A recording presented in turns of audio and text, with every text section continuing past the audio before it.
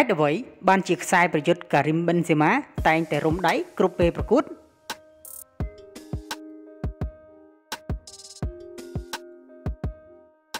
ខ្ញុំជឿជាក់ថាមានអ្នកគ្រប់គ្រងមួយចំនួនប្រកាសជាមានចម្ងល់ពាក់ព័ន្ធនឹងកីឡាករការីមបិនសេម៉ាដែលរៀងរាល់ការប្រកួតនៅលើទីលានរូគេតែងតែមានរុំដៃរបស់គេជានិច្ចហើយបើទោះបីជាឆ្លងផុតអស់រយៈពេលច្រើនឆ្នាំមកហើយក៏ដោយក៏នៅតែឃើញការីមបិនសេម៉ាបន្តរុំដៃដដែល តើនៅពីក្រោយនោះមានមូលហេតុអ្វីទៅ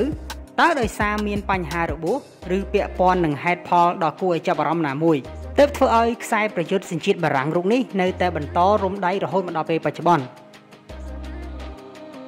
ជាក់ស្ដែងខ្សែប្រយុទ្ធមុតស្រួចរូបនេះគាត់បានរុំប្រអប់ដៃខាងស្ដាំរបស់គាត់អស់រយៈពេលជាង3ឆ្នាំមកហើយដោយការនោះ គឺគាត់ជួបបញ្ហាបាក់ឆ្អឹងម្រាមកូនដៃនៅក្នុងអំឡុងការប្រកួតយកឈ្នះដោយលទ្ធផល2ទល់នឹង1ទៅលើក្រុមរៀបបាបទីសកាលពីថ្ងៃទី13ខែមករាឆ្នាំ2019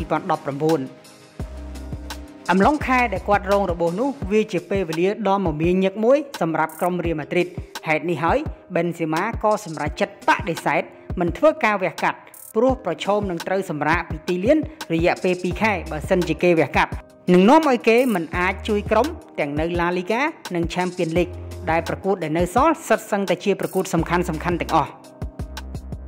6ថ្ងៃក្រោយបន្ទាប់ពីបិនសេម៉ាបាក់ឆ្អឹងម្រាមដៃហើយរូបគេក៏លេចមុខសារជាថ្មីដោយមកជាមួយនឹងការរំបងស៊ីម៉ង់នៅលើប្រអប់ដៃខាងស្ដាំហើយការលះបង់ដ៏ធំនេះបានធ្វើឲ្យអ្នកចាត់ការលោក Santiago Solari ការនោះមានការសរសើរទៅលើរូបគេជាខ្លាំង នៅក្នុងសន្និសីទសារព័ត៌មានមួយគ្រូបង្វឹកសញ្ជាតិអាសង់ទីនរូបនេះបាននិយាយថាដោយអ្នកបានដឹងស្រាប់ហើយថាការីមគេមានរបួសផ្នែកម្រាមដៃប៉ុន្តែយើងគិតថាវាមិនមែនជាបញ្ហាសម្រាប់គាត់នោះទេក្នុងការបង្ហាញខ្លួននៅចុងសប្តាហ៍នេះដោយយើងពិតជារីករាយខ្លាំងណាស់យ៉ាងណាមិញជាលទ្ធផលបិនសេម៉ានៅតែបន្តធ្វើព្យុះធ្វើភ្លៀងជាមួយនឹងរៀលម៉ាឌ្រីត បានគ្រប់ការប្រកួត ហើយនៅចន្លោះខែមករាដល់ខែកញ្ញាឆ្នាំ2019ខ្សែប្រយុទ្ធសញ្ជាតិបារាំងរូបនេះអាចរកគ្រាប់បាល់បានរហូតដល់21គ្រាប់ដោយចាញ់តែកីឡាករ4រូបប៉ុណ្ណោះនៅតំបន់អឺរ៉ុបហើយជាងនេះទៅទៀតនៅឡាលីកានៅក្នុងរដូវកាលឆ្នាំ2018-2019បិនសេម៉ាគេមានគ្រាប់បាល់ស្មើស៊ូអារ៉េសនៅឈរលេខរៀងទី2ផងដែរប៉ុន្តែ វាជារឿងដ៏គួរឲ្យភ្ញាក់ផ្អើលដែលបិនសេម៉ានៅតែបន្តរំបងស៊ីម៉ងដៃមកទល់នឹងសពថ្ងៃហើយមានហេតុផលពីរយ៉ាងនៅពីក្រោយនោះ ដោយទី1គឺគេគិតថាខ្លួនជាចំណែកសំខាន់ដែលក្រុមពុំអាចខ្វះបាន ហើយបើទៅចាយពេលវះកាត់2ខែគឺពិតជាបង្កការលំបាកនៅតំបន់ប្រយុទ្ធសម្រាប់រៀលម៉ាឌ្រីតហើយ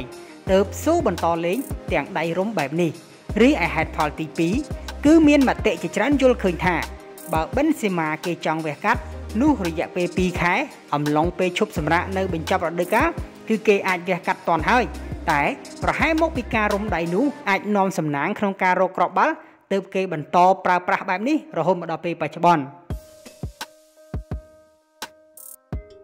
សូមអរគុណសម្រាប់ការទស្សនាហើយសូមកុំភ្លេចចុចជាន់ Telegram Channel របស់ Sport Talk ដើម្បីទទួលបានព័ត៌មានកីឡាថ្មីៗប្រចាំថ្ងៃ សូមអរគុណ